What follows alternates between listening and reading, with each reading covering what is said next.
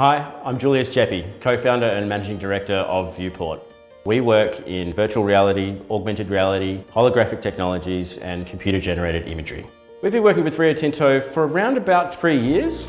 We've created a number of virtual reality stereoscopic experiences that take you out on site to real Rio Tinto operations. By putting people inside the VR headsets, we're able to actually place them at that location, but we're minimising the costs involved with getting them there and eliminating any risk.